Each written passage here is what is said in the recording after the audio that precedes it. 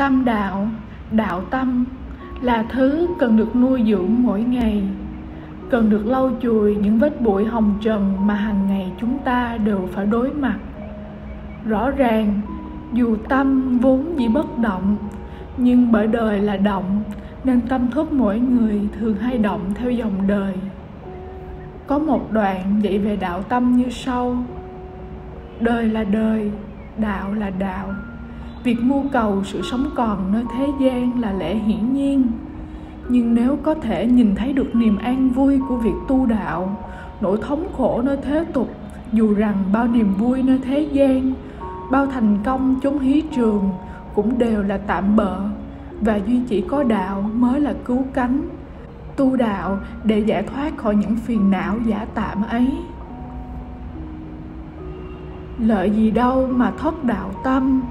Chẳng so như bậc thú cầm, hồ bi thố tử nghĩ thầm thương nhau. Cái lợi của thế tục thường tình, cái phước báo hữu lậu của việc từ thiện giúp người mà cầu phước báo.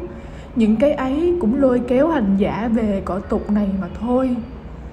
Cũng vì một điểm luyến trần, ham mê bao lạc thú thế tục mà đánh mất đạo tâm. Nào bể ái tình trường nào bả vinh hoa phú quý, nào quyền cao chức trọng, nào pháp cao thấp so nhau. Ôi, một trường thảm khổ. Bậc thú cầm là thế, ấy mà con thỏ chết cũng khiến con chồn phải bi lụy.